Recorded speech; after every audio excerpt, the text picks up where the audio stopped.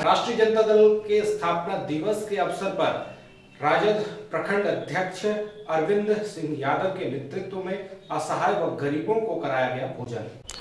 राष्ट्रीय जनता दल के स्थापना दिवस के अवसर पर राजद के मधुपुर प्रखंड अध्यक्ष अरविंद सिंह यादव के नेतृत्व में स्टेशन रोड के समीप असहाय जरूरतमंदों को भोजन कराया गया। इस अवसर पर उन्होंने कहा कि आज राजद का स्थापना दिवस है। इसी उपलक्ष्य में सभी जगहों पर असहाय व जरूरतमंदों को भोजन कराया जा रहा है। इसी कड़ी में मधुपुर क्षेत्र में यह आयोजन हो रहा है। उन्होंने राजद सुप्रीमो लालू प्रसाद यादव के बेहतर स्वास्थ्य व उनके लंबी उम्र की कामना करते हुए कहा कि उनका जल्द से जल्द देल हो जाए, जिससे वे फिर जनता के बीच जाकर उनकी सेवा करें और संगठन को मज़बूत कर एक नई ऊंचाई में पार्टी को स्थापित करें। इस अवसर पर राजद के कई कार्यकर्ता भी मौजूद थे।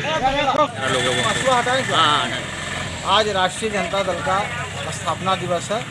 इस स्थापना दिवस के उपलक्ष्य में पूरे हमारे झारखंड राज्य में गरीबों को भोजन कराया जा रहा है। उसी के तहत हम लोग मधुपुर में प्रखंड अध्यक्ष की हैसियत से हम भोजन करा रहे हैं। और हम इस भोजन के माध्यम से हम भगवान से प्रार्थना करते हैं कि हमारे आदरणीय नेता लालू जी का जल्द से जल्द बेल मिल जाए, ताकि वो भी गरीबों की सेवा कर सके। इसी प्लस में हम जो है राष्ट्रीय जनता दल के स्थापना दिवस के शुभ अवसर पर हम गरीबों को भोजन करा रहे हैं। लचर बिजली व्यवस्था व निजी स्कूलों के द्वारा मनमाने ढंग से फ़ीस लिए जाने के विरोध में आप और हम जन संगठन ने किए